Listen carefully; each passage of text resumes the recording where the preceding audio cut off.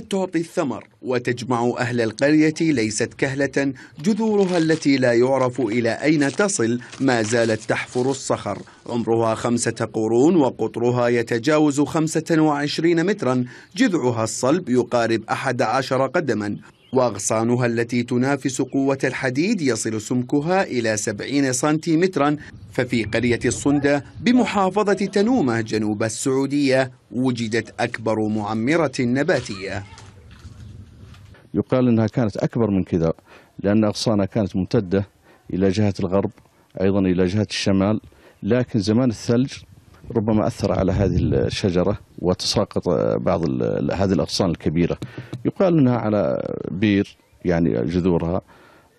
بالنسبة للجذع كما تشاهدون هو كبير جدا يفوق ال 11 خطوة بالخطوات الرجل المعتدل القامه يأبى أحد أن يقطع منها أو يعبث بها فلها منافع عديدة غير الظل والثمر. لا تضايق أو تتضايق.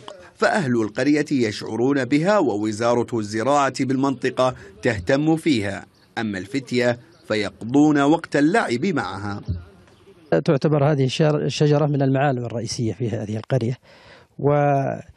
وهي كانت الحقيقة تستخدم للجلوس تحتها في أثناء يعني اجتماع القبيلة و يعني التشاور فيما بينهم وتستخدم للظل وأيضا من الناحية الجمالية كما تلاحظ تعتبر يعني جميلة جدا لدرجة أن أهل القرية لم يستطيعوا التفريط فيها على مر الأزمان.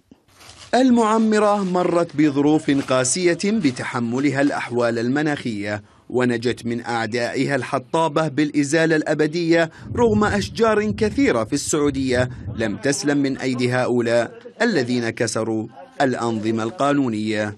هاني صفيان العربية محافظة النماص.